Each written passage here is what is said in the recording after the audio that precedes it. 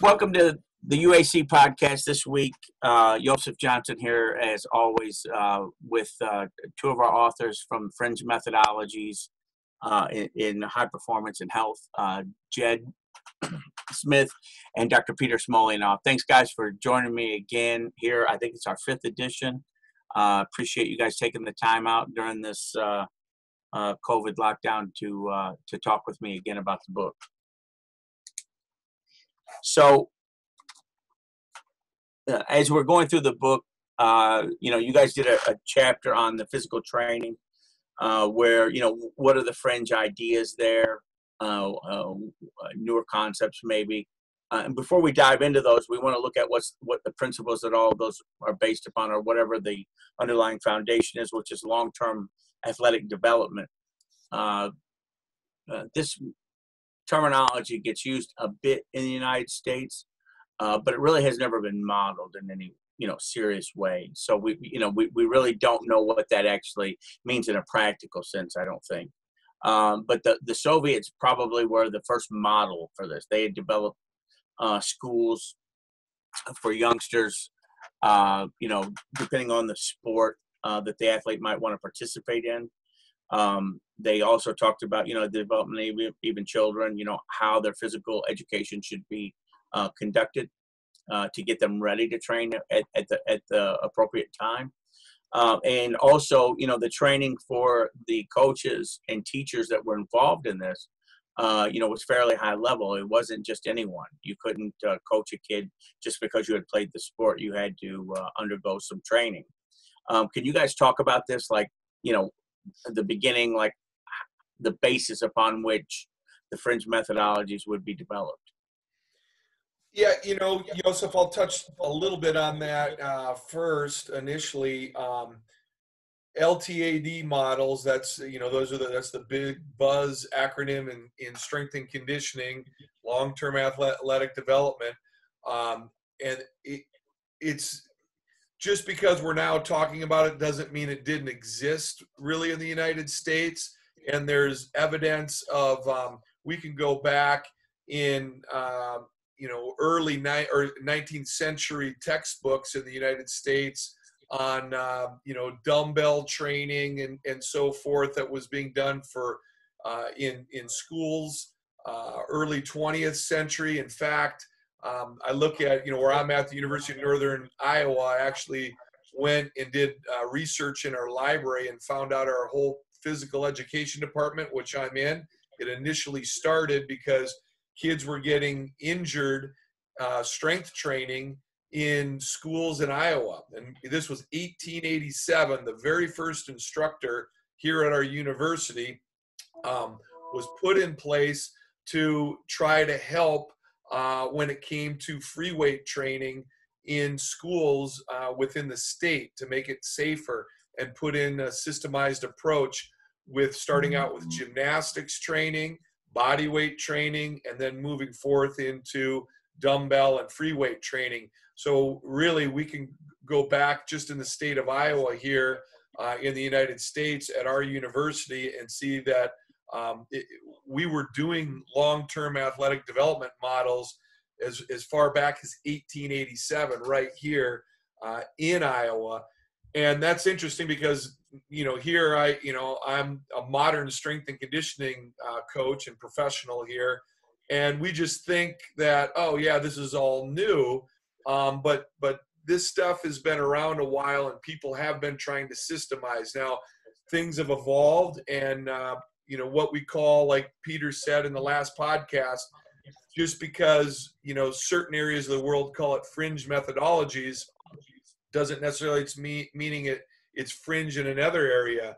For example um, kettlebells that uh, you know became so uh, big in the fitness industry over the last 15 20 years. Kettlebells have been around a long time. Uh, in fact they go uh, way back into history, and and and obviously uh, the Russian culture used kettlebells uh, quite a bit. And I remember when they came over here in the United States, as far as uh, this is fringe, and everybody was you know needed to to learn how to train with them properly. It really wasn't fringe, and it's just reinvented. Um, so, or, or, you know, comes back out again. But um, we'll talk a little bit about long-term athletic development. I, I know Peter probably has some opening comments as well on on maybe the ideas where it came from in history. Yeah, Peter, if you would, and you know, you've got that background there, and you actually went through the program or the system yourself uh, in the former Soviet Union. Uh, what was the history there, and what was that like uh, going through that? It's called now uh, American Development Model. Uh, uh, um, um, national governing body under United States Olympic Committee umbrella is now um, expected to publish these guidelines on their website, and uh, it's it's a it's a summary um, of uh, uh, how much you should be training, how, how, many competitions you should be going to, um, limitations that you should be aware of uh, that are age specific. Uh, uh, this came from Canada. Um, uh, where again every sport under Sport Canada uh, published uh, long-term athlete development guidelines. That was done by István Balyi from Hungary, a sports scientist who, who brought who brought this um, concept to North America from Eastern Europe. Uh, the again, it, it was uh, uh, summarized for each sport in, in, in Canada, then it's spread into um, many English speaking countries, uh, Australia, United Kingdom, uh, South Africa, um, uh, United States. Before um, uh, the most advanced in this sense, Eastern European countries started this. these, these are countries of Austria, Hungary, Czech Republic, Germany, um, than uh, Russia. Uh, but again, uh, there, there, was nothing new about this even 100 years ago. The concept that is probably as even more developed than, than in many sports in the West now uh, existed in in um, in uh, South Korea, Japan, and China hundreds of years ago. And if you look at uh, the best, for example, Taekwondo clubs in North America, this is what they provide.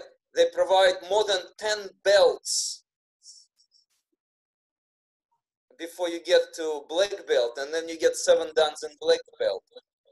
Uh, this is long-term, seamless, stressless progression of long-term athlete development that includes not just competition results that we this is what we're suffering from in, in the west we we measure our results by our success in competition.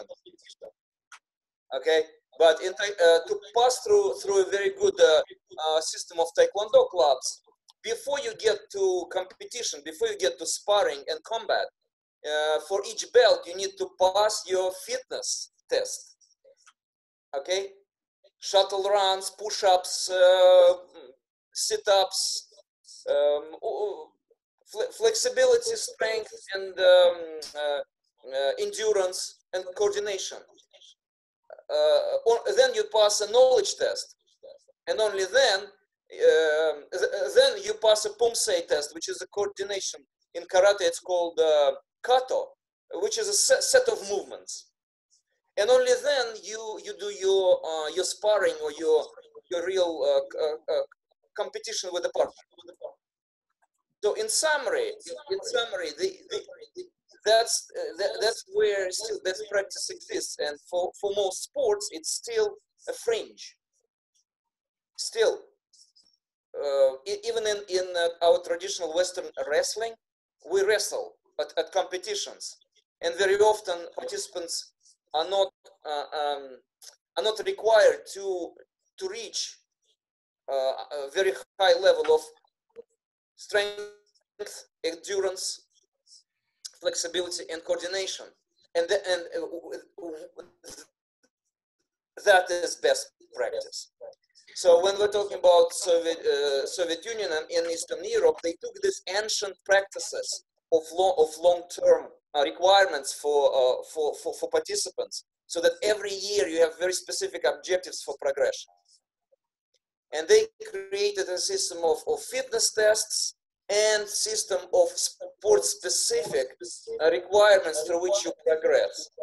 So there are 11, um, 11 stages, age specific stages in fitness tests. Start from six years old, going through 11 age categories, and the last category is 70 plus. Uh, and that, that is integrated with a system of sport specific uh, requirements that start with three strengths that, re that require specific uh, specific uh, uh minutes, not only specific uh, places in competitions, but a number of seconds uh, you run or swim a specific distance. Okay, uh, those three junior ranks, three senior ranks, and then four master ranks.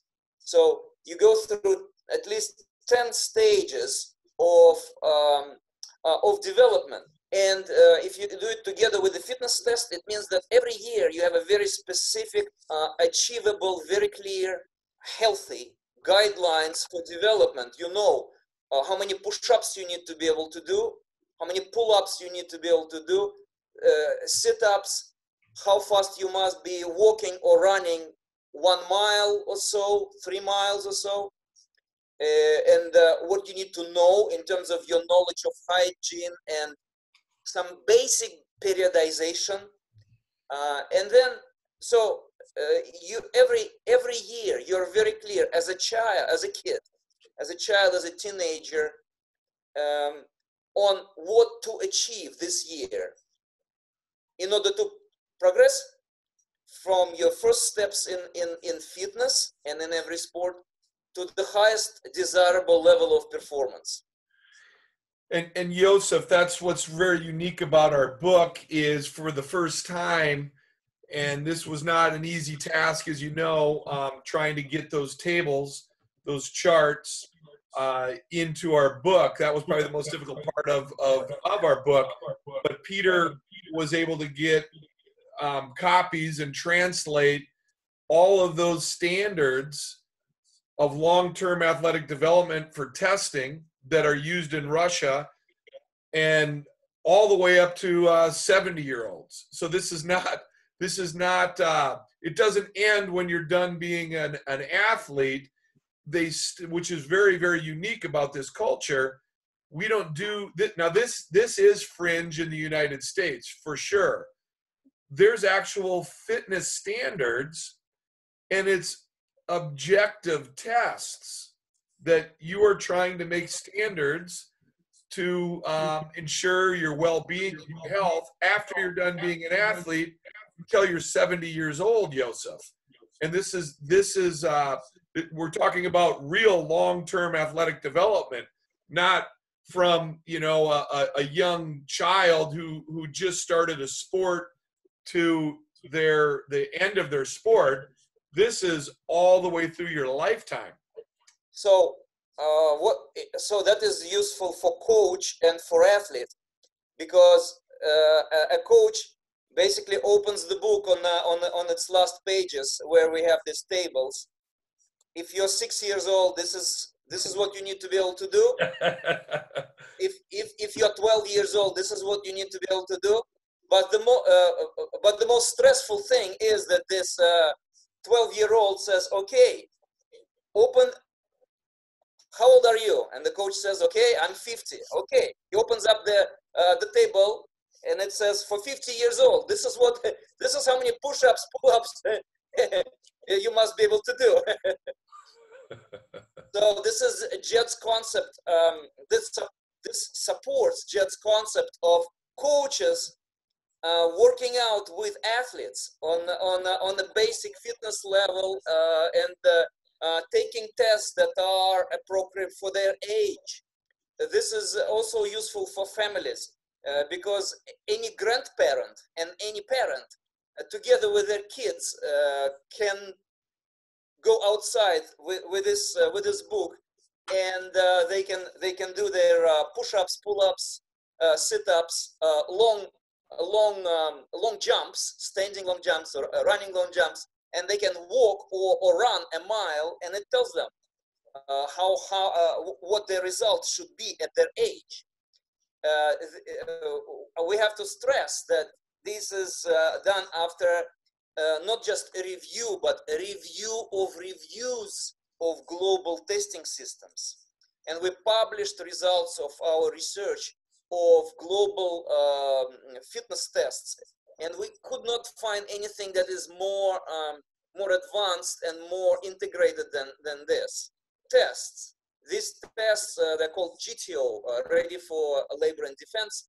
They've been developed since 1930s and regularly they have been tested and modified with large groups of population, general population and athletes and medical, medical and sports scientists and pedagogues, specialists in pedagogical science and medical science, modified these tests and optimized them. There were at least three major reviews before World War II, after and two after World, World War II. Two reviews were done after World War II. So these tests have been um, very carefully developed for many, many decades. And um, of course, they need improvement. And we, I think we mentioned it in, in the second volume, we're going to suggest more uh, advanced uh, um, additions to their tests. But the basics are in the, in the current book. Mm-hmm. Uh, we, we do have president's test and president's challenge in the United States. We have Eurofit in Europe. We can take elements um, of new innovations in this test and add to the to, to the GTO. That's uh, absolutely necessary. For example, adding some um, spine, um, um, like Cobra, basic Cobra exercise from spine routine for from yoga uh, is, is, is a good addition that was added to the president's test. It's good for, for everybody. It's good for uh, the, those who are overweight, those who have, whose health is not uh, uh, uh ideal. So we, it, it, these tests would be would benefit from um, uh, I'd say people from additions for people with special needs and those who whose health is is is below average. But for for any person still these, these tests are, are, are, very useful and we're looking to we're looking forward to, to creating a global a global system of, of, of, of testing fitness testing and programming that in the future in the in the following um, 10, 10 20 years um, would be would be available to everyone around the world um, uh, uh, we, we have this is this is one of the first steps with uh, our publication with updated uh, GTO tests and some uh, suggested addition from uh, American president's tests and from European Eurofit tests um, is our is, is one of the first steps in in creating a global system. Um, but there are also um, sport specific um, sport specific uh, programs that must be integrated with the with the with the system. Uh, uh, like the the, the um, Vic's uh, yoga for athletes that's that's that that is created um, to to support fitness um, of uh, athletes in in a dozen uh, in how many sports? I think in ten or more sports right Jed? Absolutely yeah um, yes, yeah, so um, basic uh, exercises from these routines should be integrated into uh, in, into this into this test to make it more uh, even more varied. This GTO test has more optional uh, activities than any other systems, so it's quite quite large. Uh, there are a lot of options, but even more options could be added from Eastern um, health and fitness um, uh, systems such as yoga, uh, Tai Chi, Qigong, and other um, um, uh, healthy healthy fitness uh, uh, health and fitness systems that are becoming part of of, of Western of uh, Western culture, but are not yet. Maybe maybe just yoga is now. Mm-hmm. So And, and you know what, Peter, I want to add a little bit too on, uh, so, so the idea of, and we could get really far into, um, the testing and recruitment, um, and how that, uh, occurs in different parts of the world.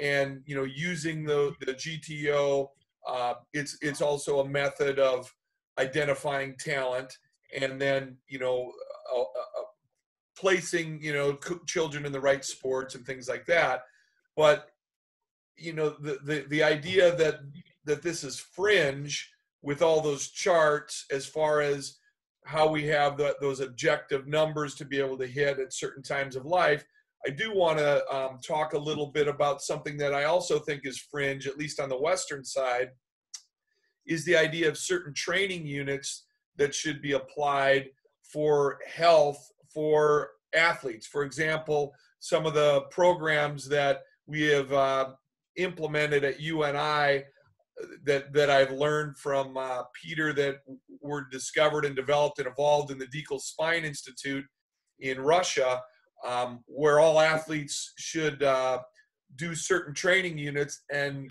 do them as an addendum on top of their normal sport training or strength training.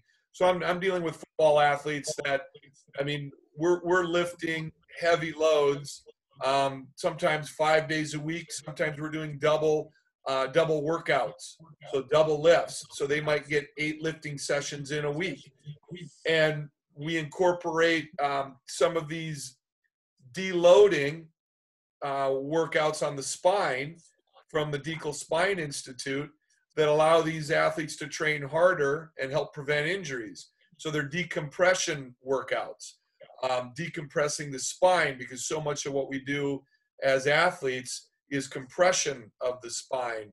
Uh, I think, Jed, I think, I think we, we will be putting we will be putting the key routines in our second volume. The, yeah. The you're talking about. We have we have to, yeah, but they're they're yeah. great. They're unbelievable. They're literally, I can say anecdotally, uh, for certain athletes, they're life changing there there's multiple athletes that came in as freshmen in college that football as you know it's a it's it's a compression sport. So they're compressing the spine over and over again. It's it's it's like a car accident you know in, in every single game. Well i've had multiple athletes that have come in that had pre-existing spine injuries that had pain and difficulty doing back squats or cleans they love the game of football. They're on a scholarship, but they were limited into their participation in the training because of their injuries. And the crazy thing is, Yosef, is some of these athletes, as a strength coach, you might think that maybe they're not mentally tough enough that they're avoiding some of the difficult training, so they're having an excuse. Because I've seen, you know, thousands of excuses in my day as, as 25 years as a strength and conditioning coach difficult training, kids will go, oh, you know, this hurts or this bothers me. Well, what I found when we started implementing uh, some of these routines, as far as our, we call them recovery workouts, and they're great workouts, and, and you know, on top of that. But when we started uh, I- implementing these once a week, these injuries that these kids had pre-existing, when they came in the door, went away and some of these athletes ended up getting near breaking records for their position on a back squat or a clean. So they are right up in the, you know, near the best numbers anybody that ever played their position in our history uh, were able to do, which is amazing to me. So then I, and I thought to myself that they weren't lying. These guys, they wanted to do it. They're tough kids, but they had real injuries that they went away over time and they were able to integrate into our our normal training and spine loading heavy back squats heavy cleans heavy snatches heavy pulls heavy deadlifts and have no trouble. So these are this is like a one hour one hour session. That integrates yoga uh, aerobic uh, sport specific exercises from different countries and ancient particularly especially ancient uh, systems of eastern um, um, fitness physical culture, Eastern physical culture. Yeah, but we, we focused on on putting together exercises that are strengthening your joints, all your joint tissues in your body. They strengthen it while stretching it. So you, you stretch it and then you strengthen it at the same time. And we're trying to build um, compound exercises so that you do it in the most efficient way. Uh, we created uh, a sequence. Sequence is very critical. This is another fringe in the West that uh, that is coming to every participant. Sequence, how to um, put exercises in order so that you are rotating or integrating constantly, stretching with strengthening. Okay? And, and warming up certain areas of the body to allow for um, more decompression, uh, you know, to release the spine in in certain uh, periods as it's sequential, uh, heating up properly, and then allowing you know the spine to elongate, stretch, and strengthen. Yeah, it's it, it, you can feel it as you go through the step by step. So what we created with Jed, we created a, a routine that's uh, with your own body, mostly laying lay, laying on the floor. Uh, then we created a routine that is for the gym machines, also stretching, a lot of a lot of pulling, a lot of pulling and stretching, and while it's stretching, it's it's strengthening. And then we created uh, um, an equivalent for TRX ropes and and uh, almost identical uh, equivalent for uh, rubber bands and for using a partner. So we have a, um, um, a spectrum of modes going through a routine that is full body workout, all focused on strengthening while stretching and compounding it. So you're doing it in the most uh, condensed period of time. Mm-hmm. so this is uh, important because in uh, for long term as they compete and this must become their lifelong uh, routine. So when they retire they continue using these key exercises that keep them healthy. Most important keep their spine uh, uh, their spine healthy because spine is is the most damaged the most painful uh, in terms of number more, more than half of the population general population uh, have back pain so spine spine causes pain in in in more than half of of average um, mm-hmm. uh, overall population but uh, within within within those who compete seriously for, for, for serious athletes, it could be close to 80% in certain sports uh, be, because of the compression, because of the overload of the spine. So this is the most important area for long-term athlete development, where you strengthen and stretch and keep stimulated the spine, then um, different um, joints, so this is what we offer to uh, to the readers is the, the most advanced collection of exercises for this in uh, in in in uh, hopefully in optimal put in optimal sequence that you can use for life after you after you retire. Yeah, and I want to expound on that a little bit, um, Peter. So I think it's important to understand that um, a lot of things that we do to develop these athletes you wouldn't necessarily do outside of the realm of developing an athlete. Some of the training is very very intense and it prepares their body for uh, again football is is a uh, it, it's it's a very violent sport. So you have to prepare the body to be able to handle those stresses that they're going to have within the game. And um, these these athletes become very very toughened and we have to go through a series of steps to train them to be able to withstand those type of impacts. Now, the general population doesn't necessarily need to train in in in, in those ways, but um, in order to help us train these athletes in those ways, by adding on these addendums of these training units, we're able to get much much more out of the athlete. Now, once they're done playing the sport, these are therapeutic workouts. And these these workouts are designed to continue well after you're done playing. So you implement them to help you get the athlete through the training help keep them safe um, help them reach different levels in their training. And then beyond their training it's it's they should just keep doing these probably they need to stop doing certain things that um, are not necessary anymore when they're done training to be a football player there's no need to do certain types of training. Uh, but this is recommended.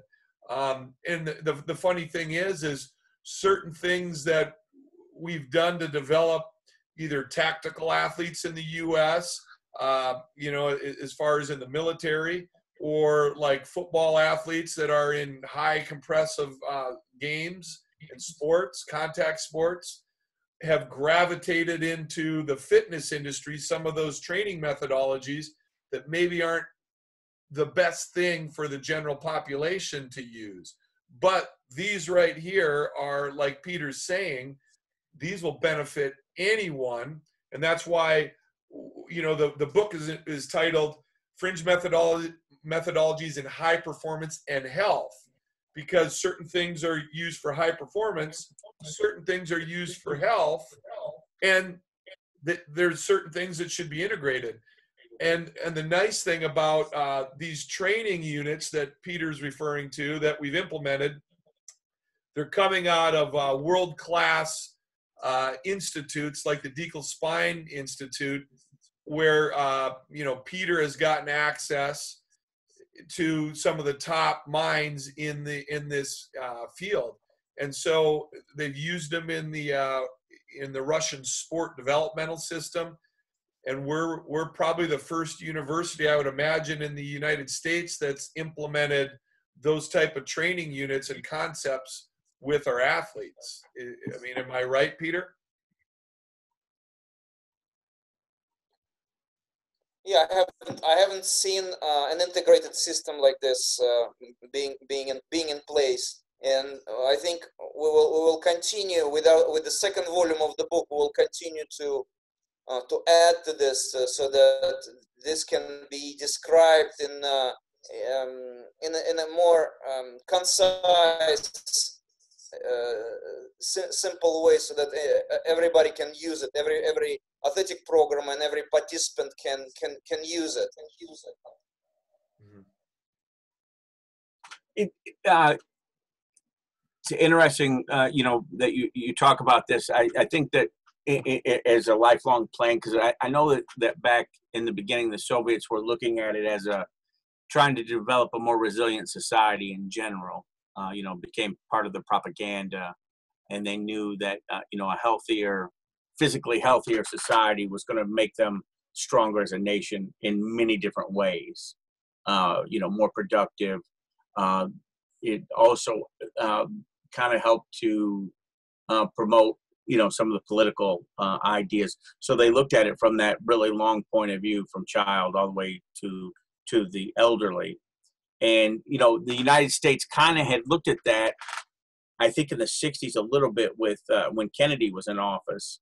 And then it just kind of went away, you know, and then as time progressed, it, it, it, it really became, uh, I, I don't know what you say, it really kind of disappeared, I guess, because America had become pretty unfit in general. Um, and uh,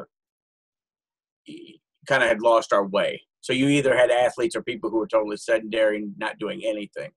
And as you said, I you know I worked in the uh, in the field of treating uh, back problems disorders about 15 years ago, and I was amazed at the number of uh, back problems that there are, uh, and to to to to really high degrees of severity and uh, that are disabling. and a lot of them can be prevented.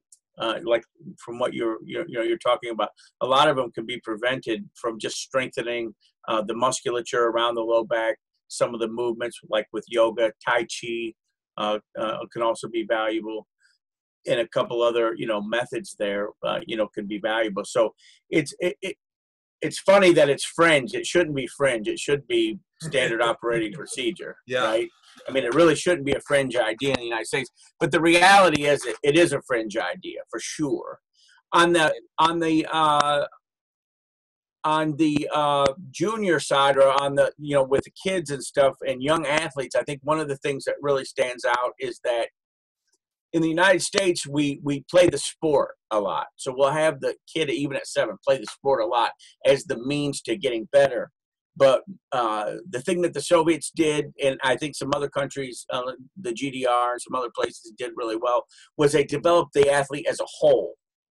You know, that like you said, there was strength development, there was uh, you know endurance. You know, because at the younger ages, you really like to develop that aerobic capacity at a young age. Uh, you'd like to be able to develop skills, not sports specific ideas, but general skills like running, uh, you know, throwing, kicking, things of this nature. Um, and, and, and, and all the while developing the athlete's strength and, and, and all the other different qualities while maybe playing the sport a little bit, but not playing it nearly as much as what we do. Uh, Peter, could you talk about that real quickly, like how the Soviets would, would look at that as far as the participation in the actual sport? How much you know what what what how did they divide that up? The uh, uh, long-term athletic development model and american development model that, that anybody can now um, look at uh, by going to websites of uh, national governing bodies um, they describe that at this early age, very important thing is is the variety of sports and and just uh, open and fun play. It's fun. It's it's it's time to have fun, not to to become too serious about it and uh, burn out. Um, but at the same time, it's critical to to develop this uh, endurance, strength, flexibility, and coordination uh, so it's not. Um, I, I think um, it, it, it's not quite true to say okay, serious training um, is is always gonna make your your, your kids um, um, you know deprive them from fun. Uh, but right. it, it, I think it's more important to realize that all of this is is critically uh, is critical play and fun is critical, but yeah. the medically medically uh, uh driven uh, development of age appropriate endurance, strength, flexibility, and coordination is must be integrated into this fun, and that's and and that's um, to the to your point uh, of of importance of, of high level of pedagogical skills of coaches. It's only a coach who is very well educated and experienced can do it well, can can integrate uh, age appropriate running, uh, jumping, a bit of push ups, a bit of pull ups here and there, but all, overall um, make sure that at six years, seven years, and eight years of age, uh, uh, your children, as they play and they, as they try maximum number of sports at, at this age, very important, uh, they still develop uh, the, all, all the important components of, uh, the, uh, of their um, fitness. And again, the, the, these tests that are at the end of the books, they, they, they give you the, the requirements for this, um, uh, showing what you should not do. You should not go beyond five pull-ups for a seven-year-old, for example. Um, and other criteria.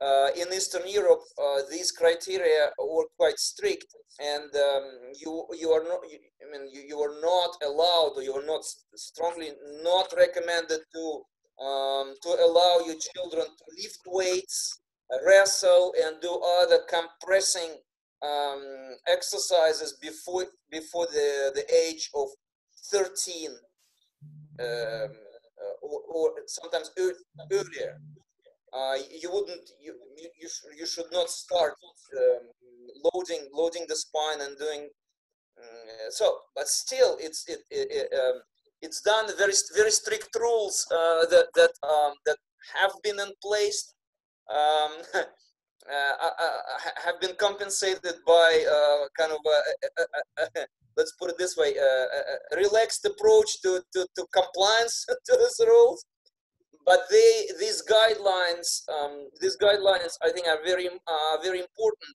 as now we're becoming more and more uh, aware of this um, uh, parents push yeah.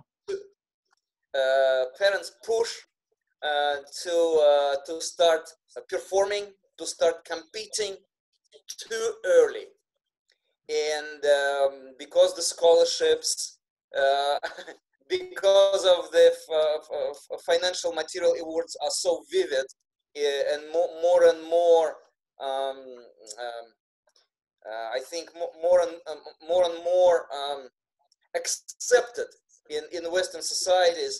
Uh, parents become become less and less uh, responsible, um, and, and they, they push their kids over the board. And national governing bodies um, uh, organize competitions for kids that are too young, uh, competing at six years old, um, seven years uh, seven years of age um, in countries like Norway is is not allowed. Clubs clubs uh, would lose their permission to operate if they if they organize uh, um, competitions, stressful competition competitions for kids of this age.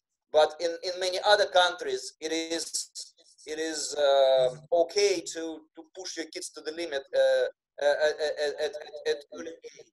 So um, while these guidelines are mentioned in, in, in our book, we're still searching for best practices in this um, long-term athlete development, particularly this uh, early age. And I think uh, uh, countries like uh, Scandinavian countries um, uh, manage it very well. Why Norway is so, is so successful on the top, and why it is number one nation uh, by total medal count in in um, in um, um, Winter Olympics, and they beat Canada and the United States and, and, and Russia. Amazing, small country is performing so uh, better than than countries with huge population populations uh, and and uh, and uh, much greater resources when one one reason is that they manage their early athlete development very carefully and they um, and they really nurture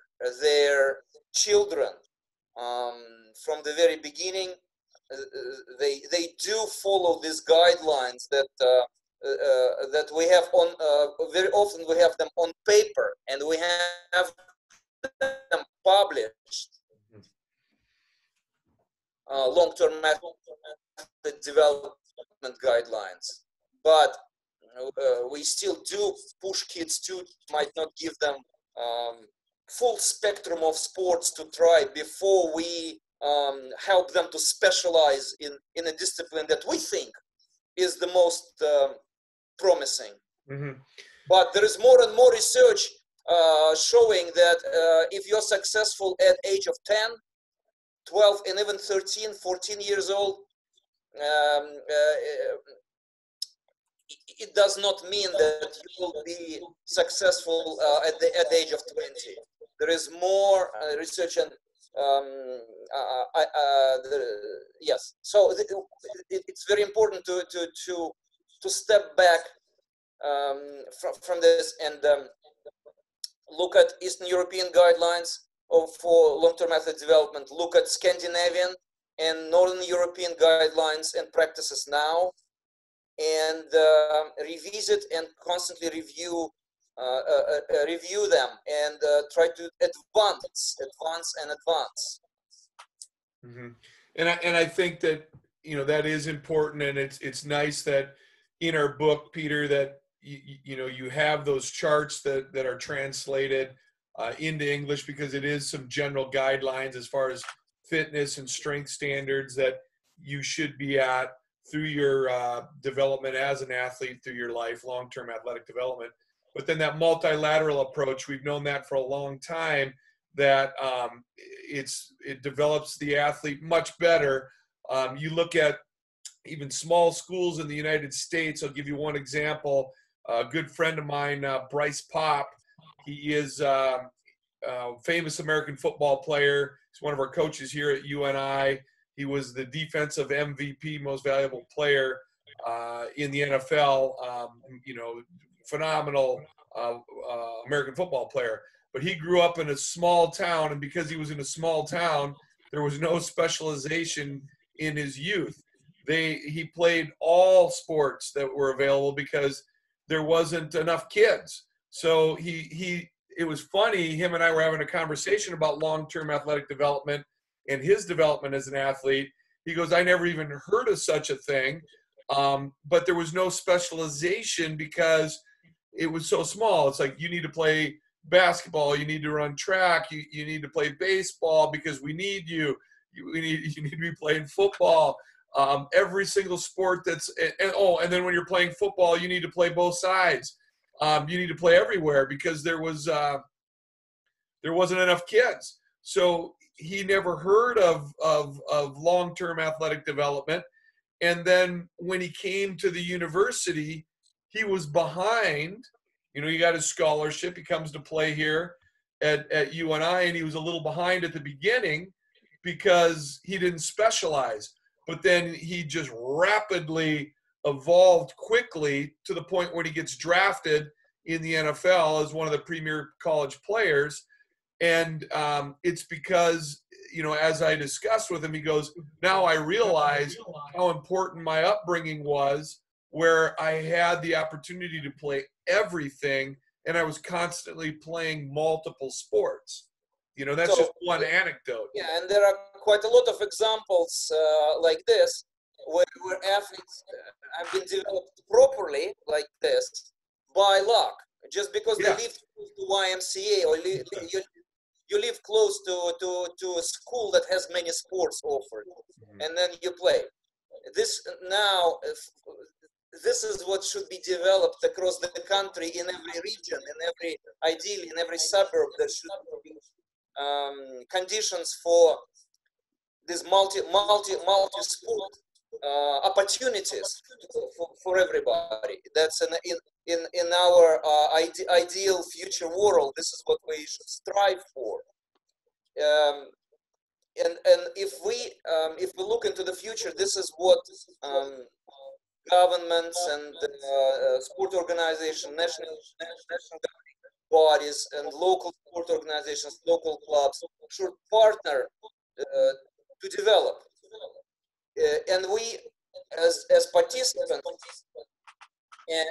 participants and coaches and as parents we should realize one important thing that we are using this um, um, Eastern European concepts uh, as the most advanced, most, most, most specific, most sophisticated skills. Um, mm, and we look at them as um, tools for selecting athletes, and we're we're looking for answers in this, practices that would help them help us to identify the most optimal sport for um, our child uh, or um, our participant and the most optimal specialization, right? Based on the tests um, we know that there are uh, physiological tests. That now there are genetic tests that help you identify optimal sport in which you're going to be successful and optimal position.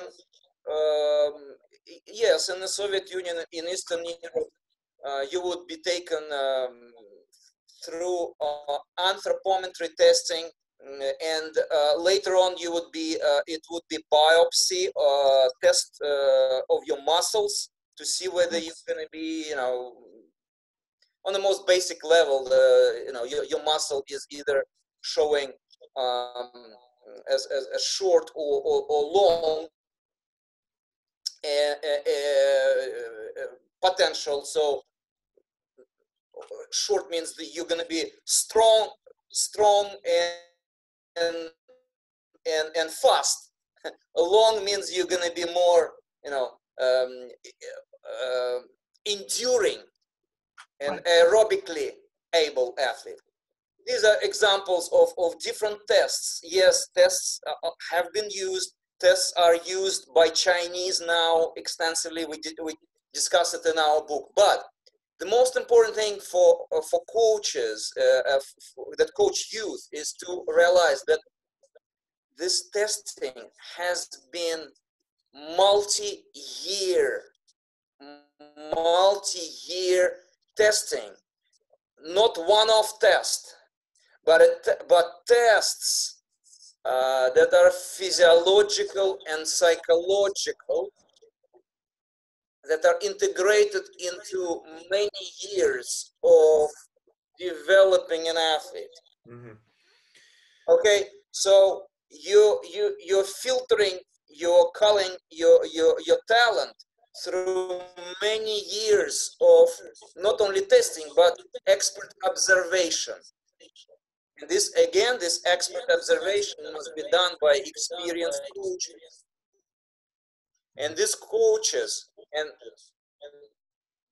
they must not dismiss. And this is what's been happening in the, in the Soviet Union, and that's what happened with me.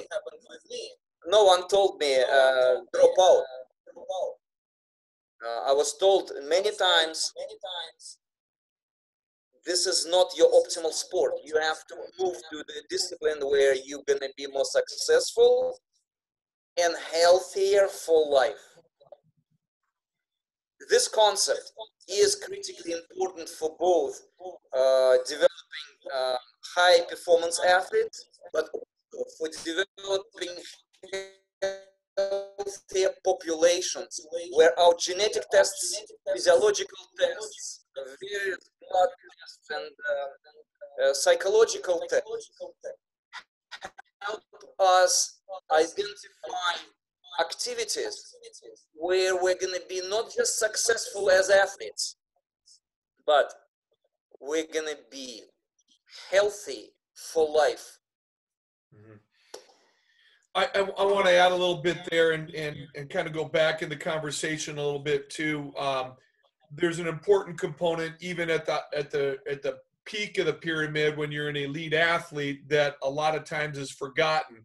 The fact that it shouldn't all be just specificity training. We have a multilateral approach uh, with young athletes at the beginning, at the base, as we develop them over time, but even at the top, we, we need to make sure that they're doing things outside of that sport to develop coordination, um, you, you, know, their rhythm, their timing, uh, things that still develop them as an athlete.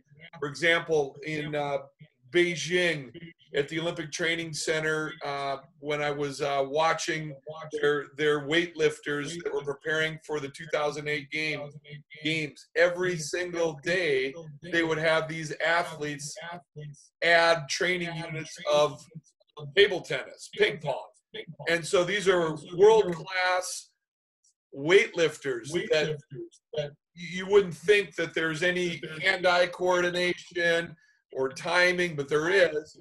It's, it's, a very quick movement, the sport of weightlifting, in a millisecond, and it's a strength and power sport. Here they're having these athletes, part of their training is they are playing ping pong, working on rhythm, timing, coordination um, as a cool down, and it was part of their regular training. Um, these ideas, I can go back in time to uh, the 1960s in the United States. But when I first started working for the Minnesota Vikings in the old training center that they had doesn't exist anymore, called Winter Park, their old facilities were built in 1968. When I went in there, um, next to the strength conditioning center, they had these rooms that were not being used anymore. And the old athletic trainer came to me, and he was there from the onset of the Vikings in 1968. And he goes, Hey, let me show you something. And he goes to these rooms and he says, What are, what are these? And opens them up, filled with boxes of storage. And I said, storage. And he goes, no. He goes, we've gone away from the simple concepts we used to know in the United States and apply. He goes, these are racquetball courts, general physical training for elite athletes outside of the sport of football. We had these athletes back in the 1960s incorporate racquetball training just for coordination, timing, reflexes, agility outside of football. And he goes, he goes, do this anymore in, in America for, for everything is so specific, specific. It's all sports specific at the uh, most elite levels. And we don't incorporate a multilateral approach, which we know that we should. Um, so when I was working with the NHL players, um, when I was, at, you know, with the Minnesota Wild, I would incorporate badminton one day a week, just working on some reflexes, uh, rhythm, timing, coordination outside. And obviously, if you know anything about badminton, that birdie, the shuttlecock, is the fastest implement in sport. It goes faster than a baseball pitch, goes faster than a hockey uh, slap shot, but very, very fast with with world class uh, shuttlecocks. When you get the the Olympic caliber ones, and these guys are developing great skills. Part of their training outside of the strength training, speed work, agility work, and so forth. But you need to think about implementing, even at the top of the pyramid, they still need to develop as an athlete, train their minds, uh, train their bodies in different ways. And we know that from research that was done in the Soviet Union years ago. Um, but again, it's uh, it's something that isn't practiced all the time guys, I, appreciate uh, uh, all the information here, kind of drawing that picture. I think that the takeaway for everybody is is that you know when you're looking at developing an athlete, it's it's a process over a mm-hmm. protracted period of time, if not a lifetime. And so when you begin to develop an athlete, I think the things that are different in the U.S. that probably you know, this would make it fringe in the United States is a lot of people look at things in the United States as a program for this amount of weeks or months or whatever, and not looking at it as trying to get gradual improvement over the length of the athlete's career. You know, if he's 10, 12 years old, you know, the Soviets would look at it and say, well, where, where, where should he be at when he's 25?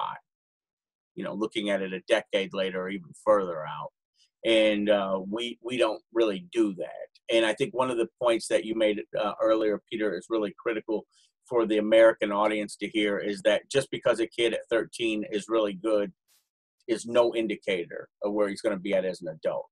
So you have to be looking at that long-term strategy, not presuming uh, that he's going to be excellent later on because of the development maturation uh, paces are, are vastly different and uh, each kid you know still needs to master the physical uh, components the physical abilities and attributes uh, of, of, fitness overall and then diving into the sport uh, you know more fully. So i think that the critical components are is, is to see that in the long term the picture. It's, it's not it's, it's a marathon. It's not a short thing. Uh, and playing more does not uh, indicate is not an indication of be mastering the sport. It's more of the overall development. It's not playing more at the younger ages or specializing. Not, and specialization, you know, I, I think the biggest problem with it is is that it's not so much that it's specialized, is that it's over volumized. There's too much time spent on it, too many games played, or too many practices specific on the sport. And this is where the athlete might get injured, burnt out, or just you know start to see an impediment uh, to their progress overall mm. uh, with the with with in the absence especially of the physical uh, fitness development that should be going on during that phase and it should be appropriate i'm i I, work as a consultant at a school, and we're using that in a dis in uh, uh, the whole district, and looking at it when I t- when I look at a kid in the fifth grade, I'm saying, well, where does he want to be when he's in twelfth grade? When he leaves here, where you know would he like to be able to get a scholarship in a particular sport? Can we develop him up to the level where he could be scholarship eligible in multiple sports because he has that base of athleticism that will translate you know under multiple sports if if, if he so desires right? It gives him uh, it gives him a lot of alternatives and choices or or or, or young ladies. So uh, i appreciate you guys filling in on this. This has been uh, really good uh, uh, talk on this subject man we're going to take it further obviously um, we, we want to dive into all the other particulars of the physical training and the long-term athletic development but uh, i appreciate your guys' time today though thank Yeah. you Thank you. Thank Yeah, you. thanks. It's a pleasure. Thanks, Joseph. Yep. Talk to you guys later. Thank you. thanks